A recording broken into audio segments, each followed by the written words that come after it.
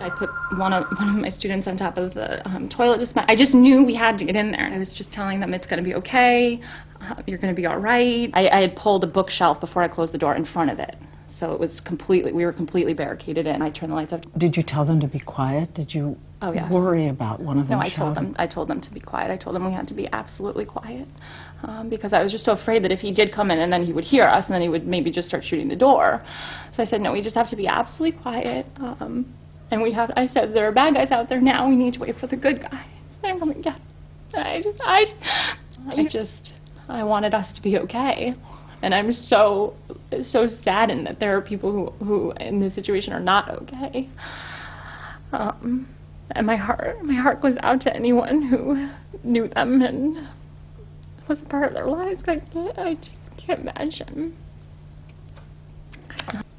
Did they cry? No, if they started crying, I would like take their face and say, "It's gonna be okay. Show me your smile." Like I really tried to like, ha- you know. And one of my students was, you know, would say like things like, "I know karate, so it's okay. I'll lead the way out." Like They really said to you, we want to go home for Christmas. Oh yeah. Oh yeah. Yeah. Mhm. Yeah. Or I just want to hug my mom, or just you know things like that that were just just heartbreaking, you know. And like in my mind, I mean, because you're hearing, I've never been a part of something obviously anywhere near this traumatic. Um, and so I'm hearing the gunfire in the hallway, and I'm thinking in my mind, I, I'm the first classroom. Why isn't he coming? You know, I'm thinking we're next, and you know, and in my mind, I'm thinking, you know, as as a six-year-old, seven-year-old, what are you? What are your thoughts? What are your, you know? And I'm I'm thinking that I have to to almost be their parent. Like I have to tell them, you know. So I said to them, I said, I need you to know that I love you all very much, and that it's going to be okay. Because I thought that was the last thing they were ever going to hear. I thought we were all going to die. Um, you know, and I don't know if that's okay, you know, teachers and, you know, but I wanted them to know someone loved them, and I wanted them, that to be one of the last things they heard. Uh, not, not the gunfire in the hallway. Uh, it's just horrible. It's so horrible. Horrible, horrible. Um, How did you know you were going to be okay? What I happened? didn't. Um, what finally happened was the gunfire stopped. The gunfire wasn't um, that long, um, so that stopped. But I, st- I said, no, we're not going Right, anywhere. We're right. staying here um, until someone good comes in.